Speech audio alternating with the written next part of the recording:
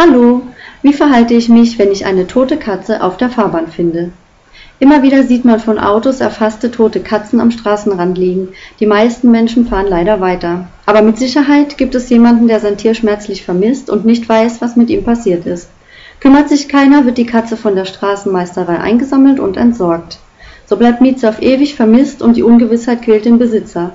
Was ist also in solch einer Situation zu tun? Ich halte erstmal an.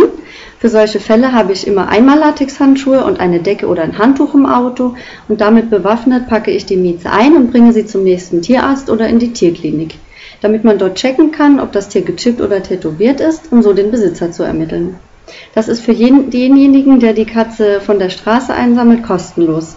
Der Tierarzt informiert dann den mit Sicherheit sehr dankbaren Besitzer über den Verbleib seines Tieres und der Besitzer kann seine Katze dort dann abholen.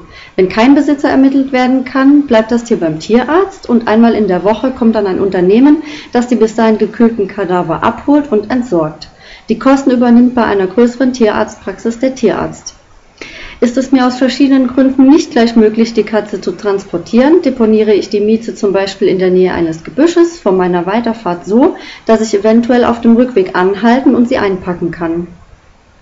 Hat der Tierarzt schon geschlossen, kann man die Katze mit heimnehmen oder an einem im Idealfall gekühlten Ort ähm, lagern bis zum nächsten Tag und dann zum Tierarzt bringen. Dass sich das Anhalten auf der Autobahn schwierig gestaltet, ist klar. Menschensicherheit geht immer vor. Dann kann man aber die Sichtung des toten Tieres bei Tierheimen oder Tierschutzvereinen anzeigen. Diese fahren gegebenenfalls hin und schauen mit einem Lesegerät nach einem Chip. Man kann die Sichtung ebenfalls in den entsprechenden Gruppen bei sozialen Netzwerken posten und die eventuellen Besitzer können zu einer ruhigen Stunde selbst schauen gehen. Ungewissheit nagt und kann zermürben und die Straßenmeisterei ist leider schnell im Entsorgen der Tiere und die gucken nicht nach einem Chip oder nach einem Tattoo.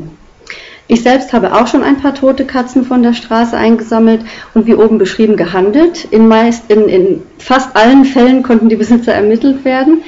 Die äh, waren wirklich sehr froh über die Gewissheit, auch wenn das ihre Katze nicht wieder lebendig macht.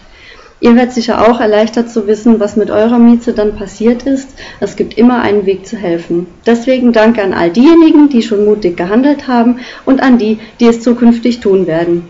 Fasst euch ein Herz. Dankeschön.